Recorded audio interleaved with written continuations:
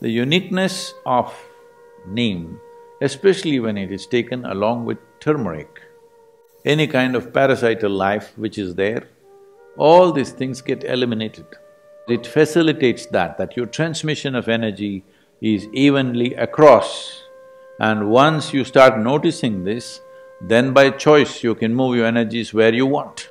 So, the neem and turmeric together has the power to break down the sperm cells and make it into another level of energy which is called as ojas. Once every cell in the body is encapsulated in ojas, you will be a glowing human being.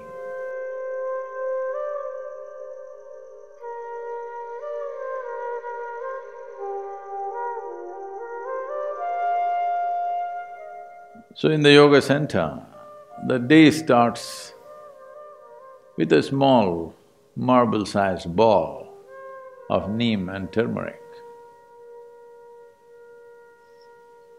There are many aspects to this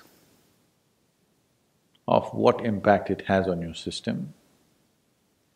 But first of all, the neem tree, which is generally all over India. Today probably being grown in another ten to twelve different geographical locations around the world, but originally by nature, indigenous to Indian subcontinent, is one of the most complex leaves that you can find on the planet. It is supposed to have uh, over 150 complex chemical patterns within it. There are both health aspects, energetic aspects and spiritual dimensions attached to this. So about health, the fundamental mistake that modern medicine systems have made is kind of absolutism about health. That this is health, this is not health. Now they tell you, your whatever, whatever chemistry, blood chemistry must be this, this and this, then you're healthy. Believe me, most of you or many of you may fit into those parameters and still not be healthy.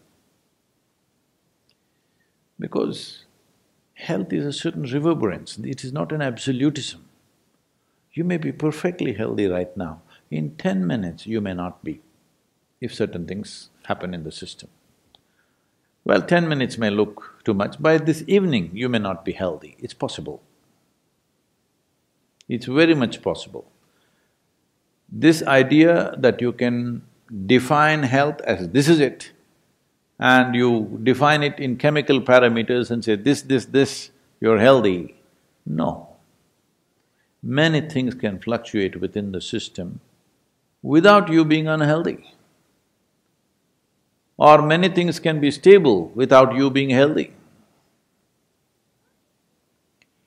So having said that, what the neem does to your system? Well, in more tangible terms, one immediate thing it will do is, it will keep your alimentary tract clean. When we say clean, this is a region, this whole digestive process is a region where you have maximum amount of uh, other life. Within this alimentary tract, there are a whole host of microorganisms.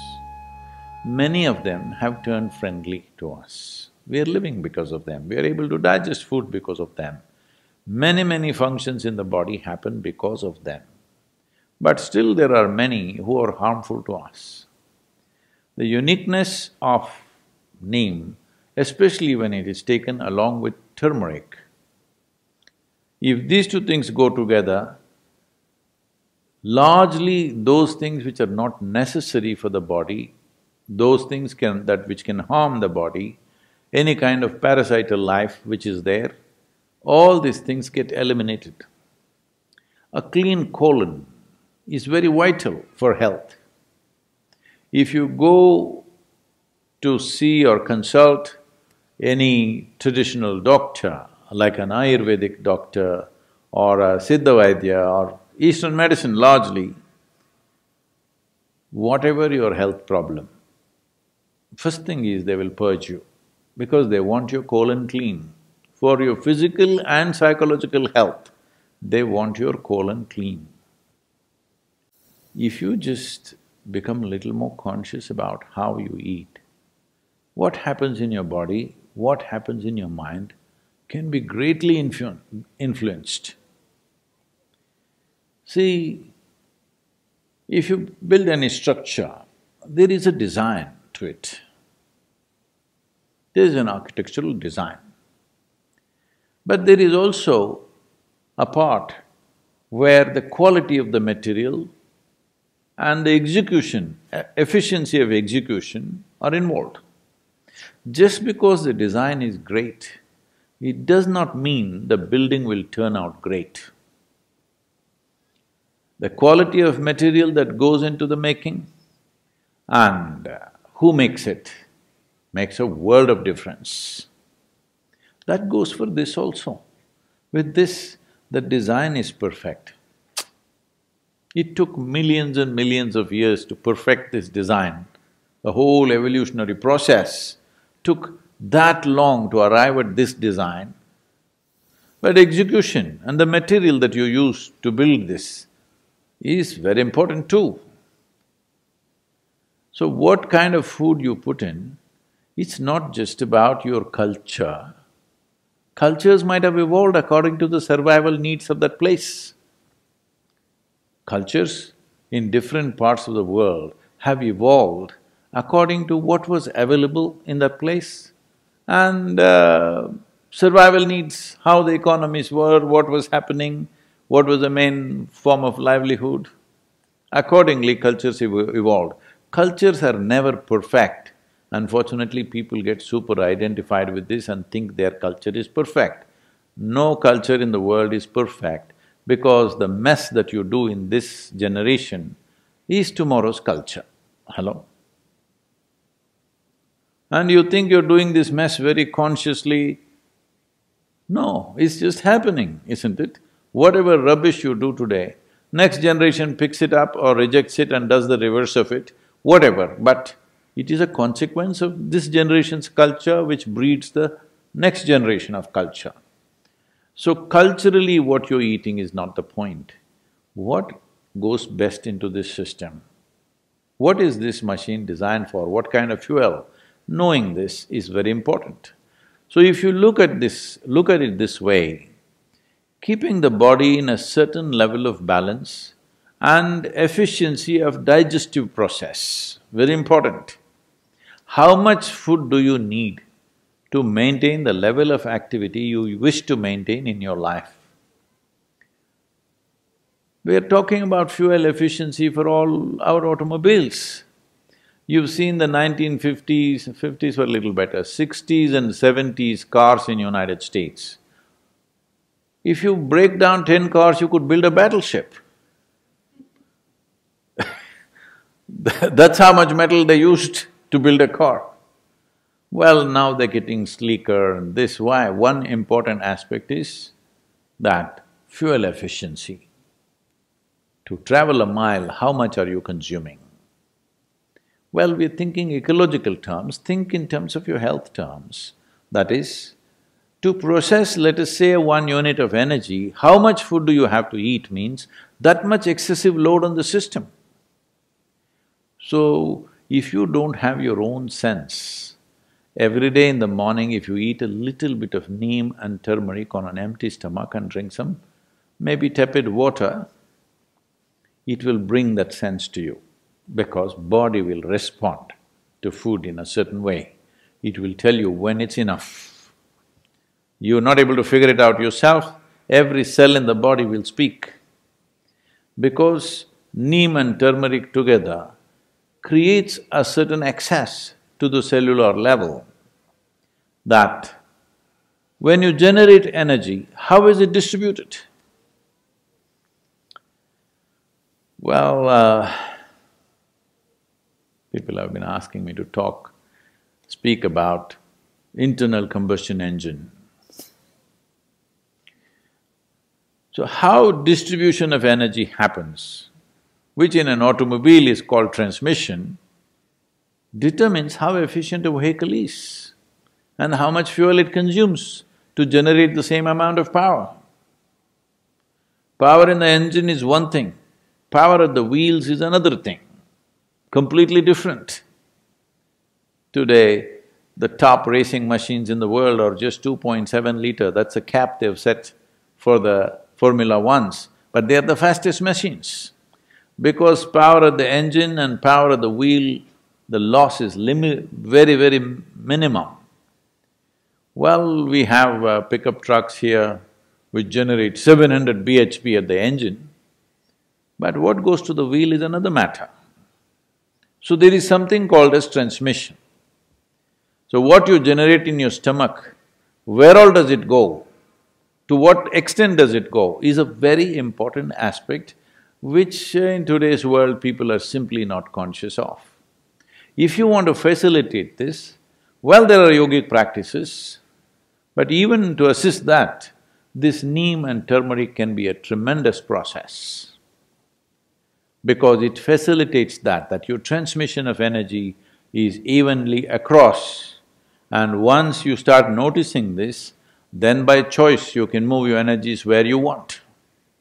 When I say you can move your energies where you want, right now, uh,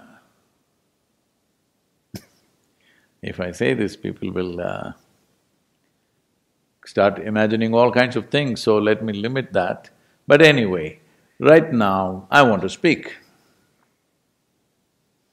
If I have my energies focused in my throat consciously, it may happen to a whole lot of singers and others just, you know, by natural inter, you know, inclinations.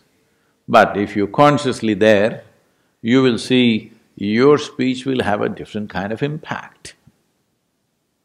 If you look at something, if you move your energies to your eyes, not that everything, the dominance is in that place, then you will see your look has a power which everybody has eyes, maybe they're twenty-twenty. No, no, no, I, I'm not talking about the year. I mean to say the vision Oh. We must be careful about using this number, huh? Twenty-twenty means people go,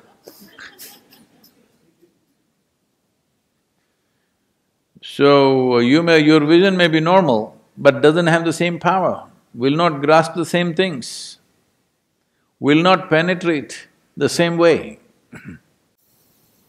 like this, there are various aspects. You want to do something with your hands, if you can have your energies focused in your hands, your touch will be another level of touch altogether. So, if this has to happen, first and foremost thing is, the transmission of energy in the system is smooth. Neem and turmeric as a combination on an empty stomach does wonders in this direction, wonders. So those who are doing sadhana of some kind, for them it's very important. There are other dimensions to this. That is, uh, if we use this neem and turmeric on an empty stomach. One aspect is, it has the power to transform one dimension of energy within you to another, in the sense. In the yogic culture, this must be understood with proper perspective. The doctors say that if you consume excessive neem, it will destroy the sperm cells, which is good proof for what we have been saying for thousands of years. That is, see there are various kinds of cells. Today, modern science is beginning to recognize how significantly different they are. What is on your skin, what is in your bone marrow, what is in your sperm, what is in your brain, these are different kinds of things, almost like another life. Though there is a common thread of information in all of them, they're very, very different. And what it takes for the body to generate an epithelial cell and what it takes to generate a sperm or what it takes to generate another cell, neurological cells, are very different level of energy involvement with the body. Well, lot of people will question this, but they will arrive at it in another twenty-five or fifty years' time. Yes, I'm telling you. So, one dimension of human life is, see, I want you to understand the miracle. Don't think about the sexuality of it. Just with a single cell, huh? Two, all right, but just with one single cell, you can ignite a new life which sits here like this. Is it a small thing? I'm asking. Because people are too sexually messed up in their head, they're not looking at the miracle of it. Just with one cell, just look at the way life has sprouted and what it's become. Isn't it so? We populated the whole world. We need to do something on that, that's a different matter.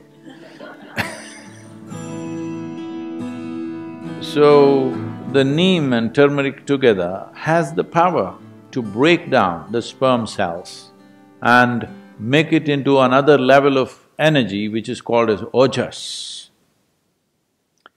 When every cell in your body slowly gets wrapped in ojas, if you're doing sadhana and your transmission is good and even across the body, when every cell in the body is encapsulated in ojas. When I say ojas, what is it? Show it to me. In my blood blood work, they said no ojas. All right, in your blood work, there's no life also, I want you to know, there's only chemistry. Nobody ever proved that you're alive, hello? You have to prove So, ojas will encapsulate every cell. Once every cell in the body is encapsulated in ojas, you will be a glowing human being. In every… in every… Uh, in every aspect of that word, you will be a glowing human being, within and without, you will be like that. This is something everybody needs to work at because this is not enlightenment.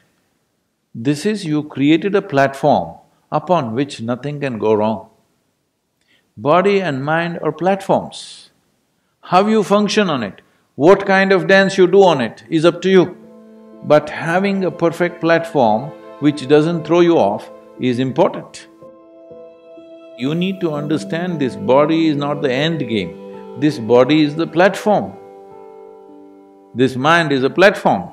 If you make it very energetic and stable, then exuberance and stability, people don't understand this, they think exuberance means freaking all over the place, stable means being dead.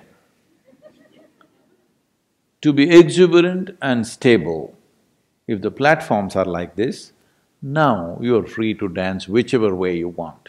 In this direction, neem and turmeric are very important elements. It's not that without it you cannot do, you can, but when there is support, why not use it?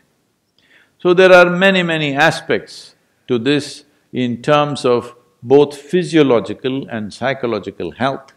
So, this is a possibility. One is about using something that supports you, another is using an atmosphere that will soak you in a certain kind of energy that your body, not like full body like this, every cell in the body should have ojas, the protective layer of ojas.